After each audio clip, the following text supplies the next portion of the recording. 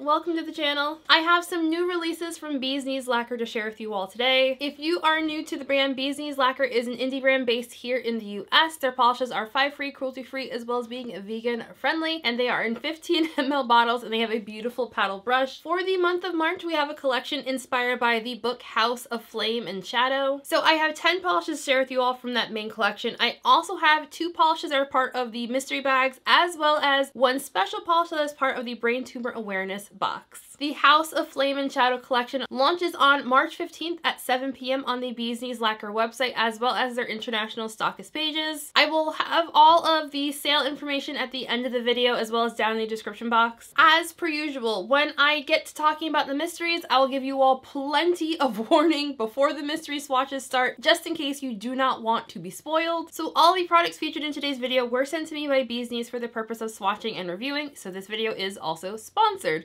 Thank you very much Bee's Knees for sponsoring today's video and as always all thoughts and opinions are my own. So as always down in the description box links to where you can pick these polishes up, links to the brand's website and social media pages, my social media pages, as well as a link to my blog post on NicoleLovesNails.com where I host all my swatch photos as well as provide a written review and of course timestamps are down there as well. Let's get into this video. This year for the brain tumor awareness, instead of the polishes being hosted on just one website this year, it seems that all the polishes are going to be posted on each individual maker's website.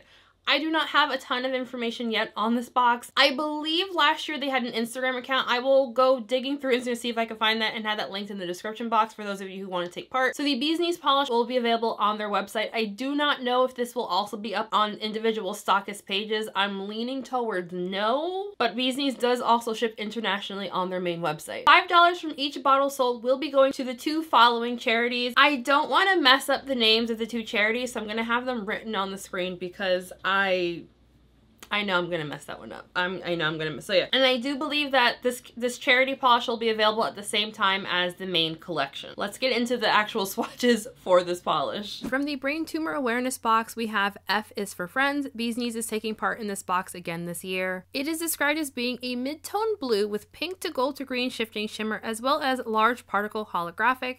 It is priced at $14.15 and has no cap. F is for Friends had a fantastic formula. The base felt slightly on the thicker side, but the kind of thickness that adds to opacity and not difficulty in use. This is a super duper sparkly polish. You get a lot of sparkle from the shimmer as well as the holographic. Like I feel like my camera was kind of freaking out trying to get this one photographed. My photos show F is for Friends in two coats plus glossy top coat. Nothing in here is going to dry down textured. Removal will be fairly easy, but very, very messy.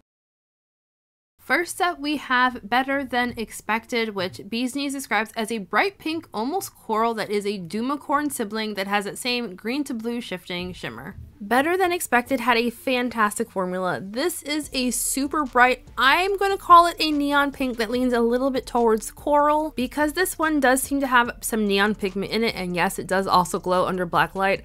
I did find this one really difficult to capture color accurate. It's very, very bright, and because of that neoniness to it, it just does not photograph color accurate very well. The shimmer in here is super strong and super glowy. It does not show any brushstrokes at all, and it has a really nice color shift. I'm going to call this one a 2 to 3 coater depending on personal preference. The same color on the nail that I was seeing in the bottle, I opted to swatch this one in 3 coats. Depending on your lighting, you will also have some visible nail line if you have any kind of free edge to speak of. Nothing here is going to dry down texture super easy removal, and I had no issues with staining.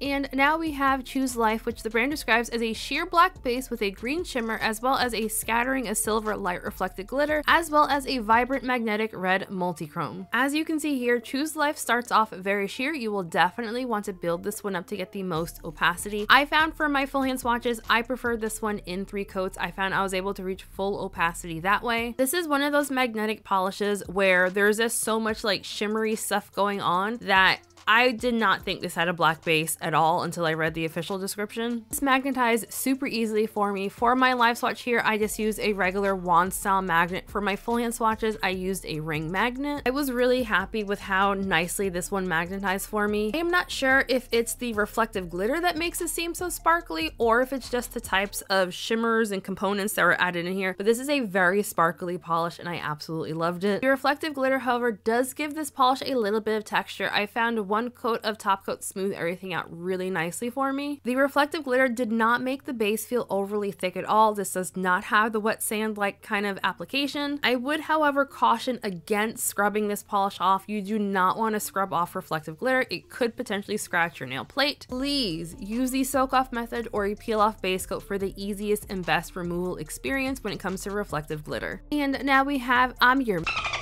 Executioner, which the brand describes as a soft grayed out purple with a glowy blue shimmer. This polish also had a fantastic formula, but it is incredibly sheer. This is going to be one of those polishes I think people are either going to really, really love or really, really hate due to how sheer it is. Thanks to the sheerness, the shimmer is very strong, very glowy. However, you will be able to see like every kind of imperfection on your nail as well as your nail line. I will admit, this one, while I do really like how glowy and strong the shimmer is. I feel like it's just like a tiny bit too sheer for me personally. I do think this one is sheer enough that this one definitely has some topper potential. Full swatches show this one in three coats plus glossy top coat. Honestly, I did not see that big of a jump in opacity between two coats and three.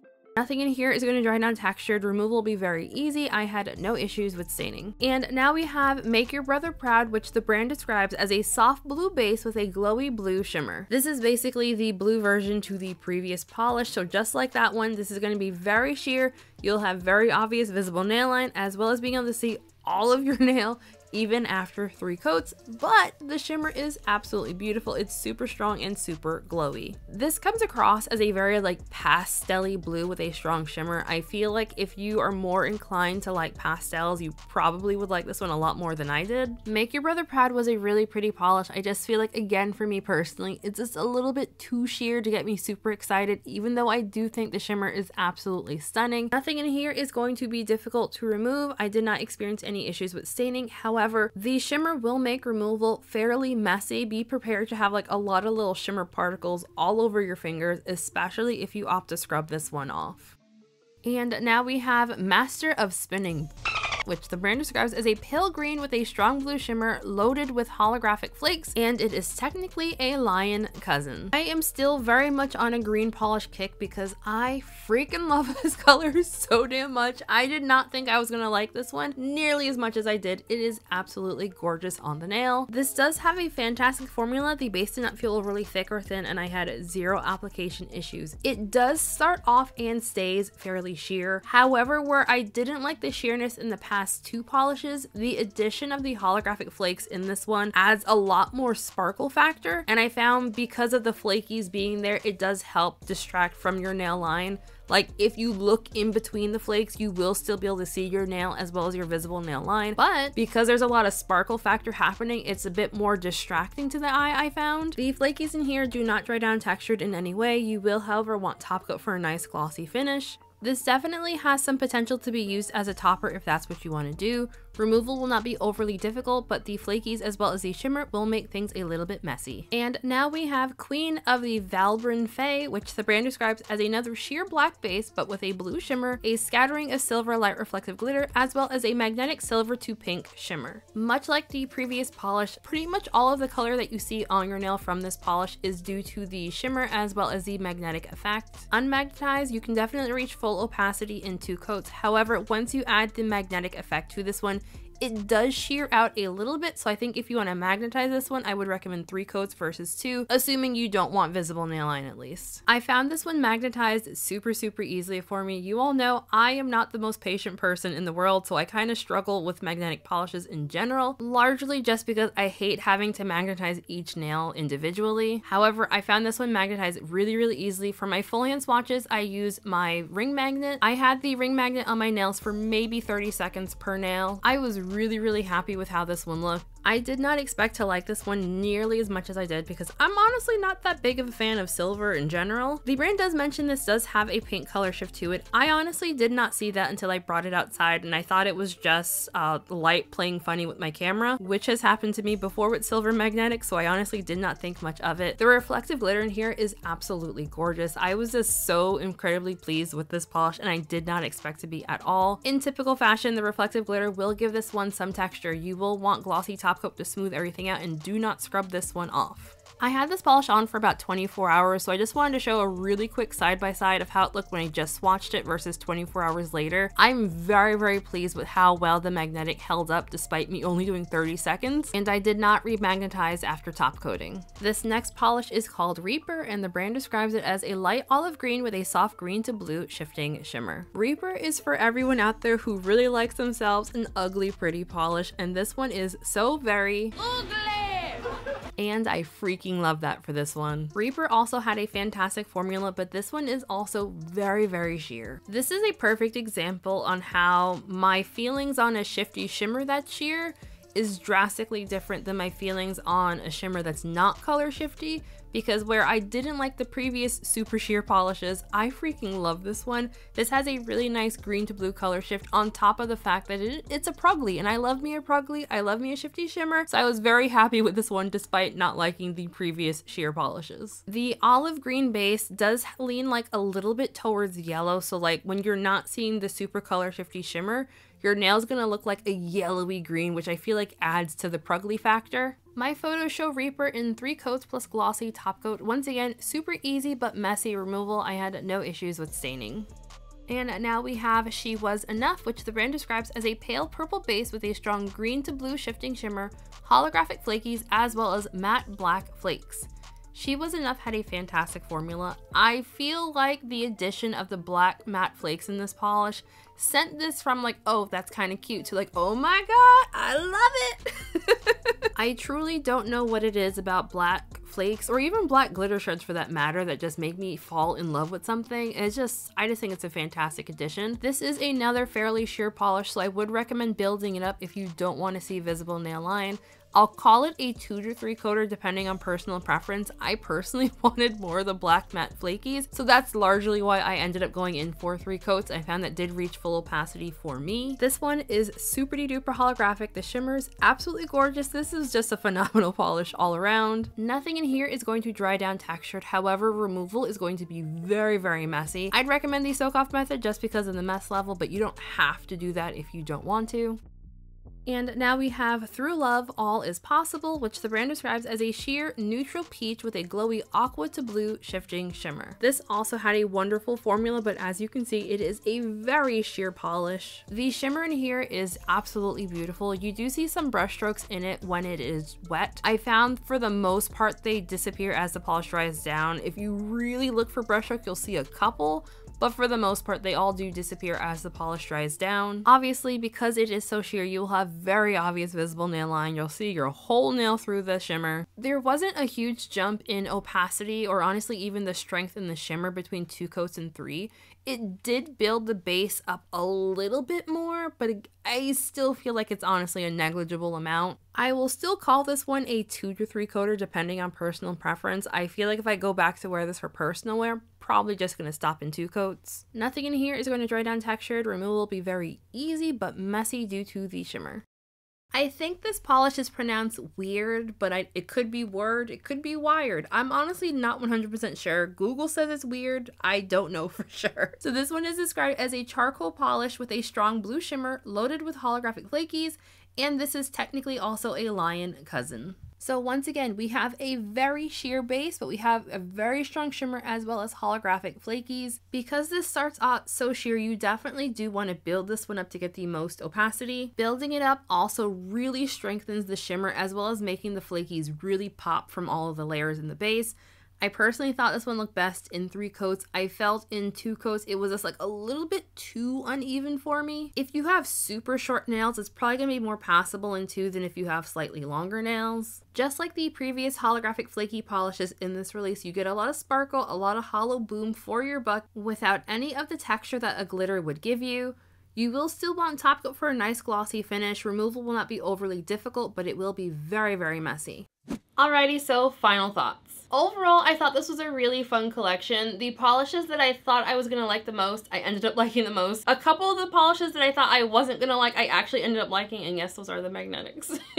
Overall, I thought this was a really nice release. I feel like as far as the color story goes, I'm not getting any particular vibes off of it, honestly. I really appreciate that we had a mixture of finishes again. I really feel like I'm always happiest when we have a mixture and variety. I'm having a really hard time deciding on what my top pick is going to be, so I'm just gonna list off the ones that I like the most. That would be Reaper, she Was Enough, Queen of Valbaran Fae, as well as Weird. I think those are going to be my favorites from this whole release. As far as sale information goes, this collection launches on March 15th at 7 p.m. Eastern Time on the Bee's Knees Lacquer website. This will be open for a week-long pre-order ending on the 22nd at 11.59 p.m. again Eastern Time. There are currently no limits in place to pick these polishes up. However, there is going to be a limit on the mystery bags. All the polishes in the main part of the release are priced between $14 and $14.50. And if you pick up all 10 polishes, there will be an automatic discount of 15% percent added to your order. There will be some overpours available this month from the Throne of the Fallen release, as well as the Fall of the House of Usher freebies will also be available. There is a soft cap of a thousand bottles of ready to ship polishes available. Everything else will be on a pre-order, just like the past couple of months have been. All right, and now for the mystery bags. The mystery bags share the same name as the main part of the collection. All the polishes featured in the mystery bags are listed as being both shimmers and light reflective glitters, and the mystery bags are priced at $25 for two polishes. And again, there is a limit of one mystery bag per person. However, that is not a limit on household. So again,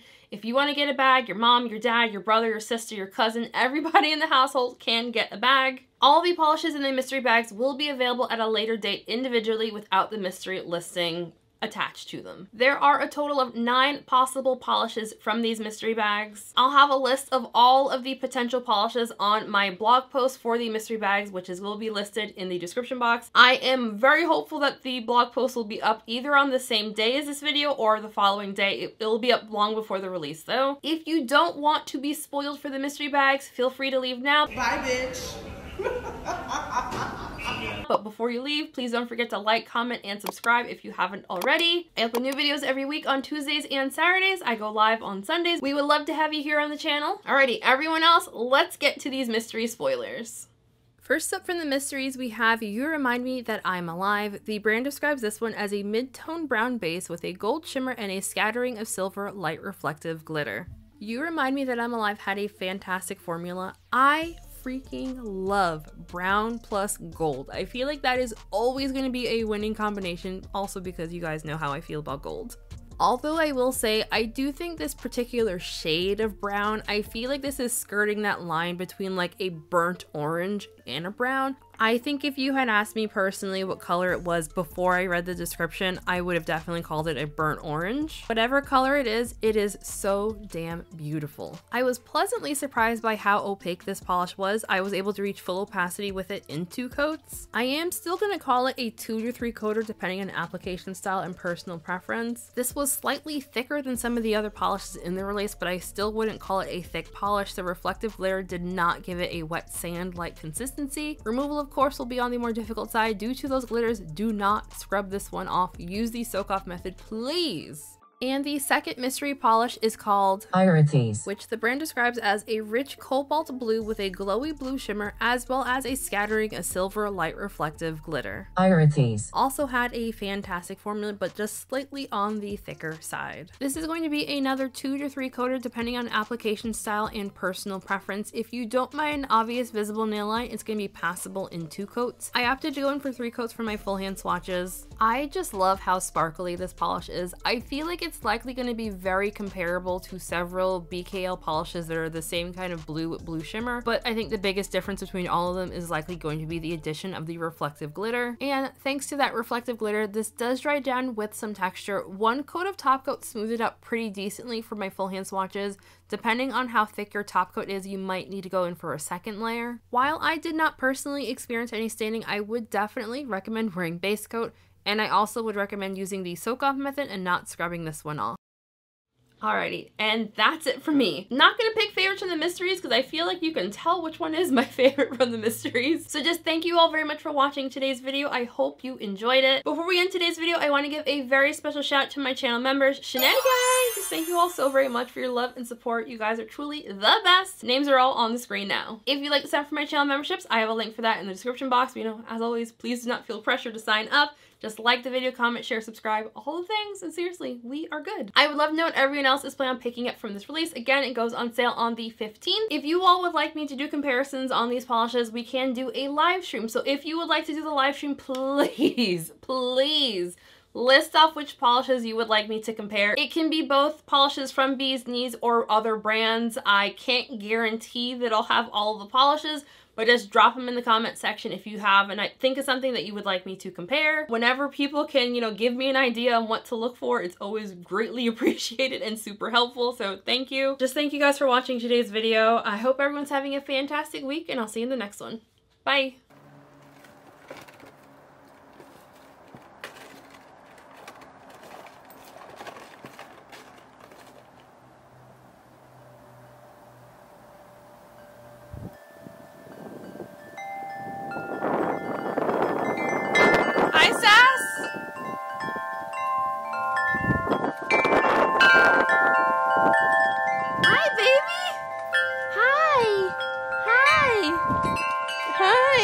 Hello. Come on. Good girl. Let's. When I get high. I ain't looking at the clock, still balling like Brian. Yeah, I'm headed to the Bucks, then I'm balling like yeah.